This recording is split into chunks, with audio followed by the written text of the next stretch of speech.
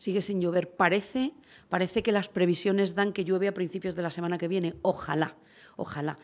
Pero nosotros sabéis que, hasta este momento estamos suministrando parte de Madrona y parte de Revenga. Lo que vamos a hacer en los próximos días es sustituir Madrona por, eh, por el pantano, por el pontón. Para preservar Revenga, volvemos a incorporar el suministro desde, desde el pontón, poco a poco, en los próximos días. Esperamos que llueva y que se resuelva el, problema.